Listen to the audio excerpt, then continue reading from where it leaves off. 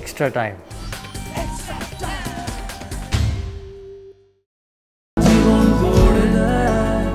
সত্যি জীবন গড়ে দেয়।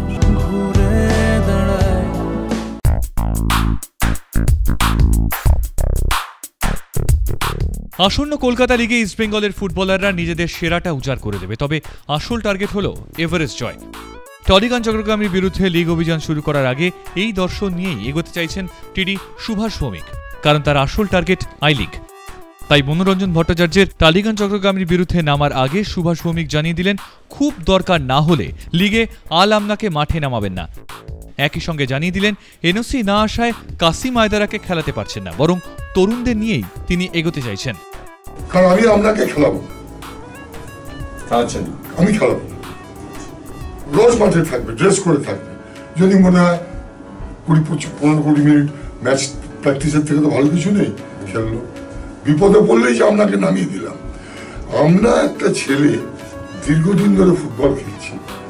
ওর বয়স হচ্ছে।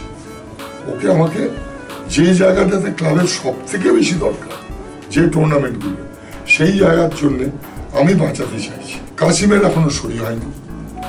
ক্লিয়ারেন্স আসেনি আশা করছে ক্লাব আমার কালকেও বলেছেন ক্লাব অথরিটি যে আমরা হয়তো এক দিনের মধ্যে নেব। সো কালকে ম্যাচে কোনো আশা নেই তার দলে কোনো বিদেশি নেই তবে বিপক্ষে ড্যানিয়েল বিদেমি লাগো ও রিচার্ডের মতো বিদেশিরা রয়েছেন। যদিও প্রতিপক্ষ নিয়ে বেশি মাথা না ঘামিয়ে ক্লাবের কর্তা সদস্য সমর্থকদের কাছে বিশেষ আবেদন করলেন সুভাষ। আমি সদস্য সমর্থকদের অনুরোধ করছি। আপনাদের যা কিছু জিজ্ঞাসা আপনাদের গালাগালি আপনাদের অভিযোগ দল সম্বন্ধে খেলার পারফরমেন্স সম্বন্ধে আমাকে ঘেরাও করে ক্লাব থেকে বাড়িয়ে দেবেন না। এই খেলোয়াড়দের কিছু বলবেন না। এরা তরুণ দল। এই দলটার একটা কনফিডেন্স আপনাদের সাহায্যে আমরা তৈরি করতে চেষ্টা করছি। মুখে সরাসরি বলছেন না তবে তার হাবে ভাবে পরিষ্কার। কলকাতা লিগের থেকে আই লিগটাই তার কাছে অনেক বেশি গুরুত্ব পাচ্ছে। তাই দলের তরুণ ফুটবলারদের চাগাতে ড্রেসিং রুমে নতুন স্লোগানের আমদানি করেছেন Subhash. My mindset is the East Bengal will give their best, but their achieve their target is to reach the Everest.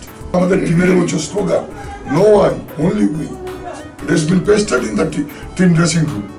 We are all member of East Bengal, Quest East Bengal Subhash যতই বলুন শুক্রবার কিন্তু লাল হলুদের দুই ঘরের ছেলের ডুয়েলের দিকে তাকিয়ে রয়েছে বাংলার ফুটবল।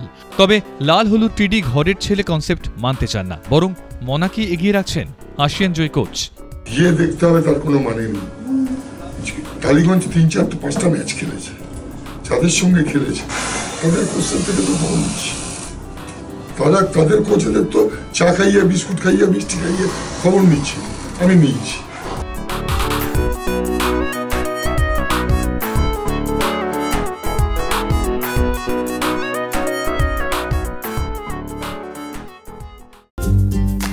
লেটেস্ট নিউজ আর এক্সক্লুসিভ ভিডিওর সঙ্গে আপডেট থাকতে এখনই সাবস্ক্রাইব করুন আমাদের ইউটিউব চ্যানেল বেল আইকনে ক্লিক করতে ভুলবেন না জানো